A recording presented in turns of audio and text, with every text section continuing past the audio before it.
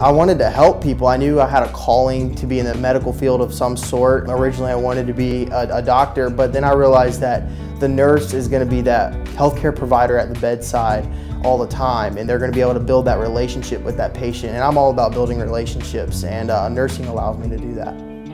GGC offers that small classroom size and they allow you to connect with teachers on a one-on-one -on -one level. You're not a number here, you're a person.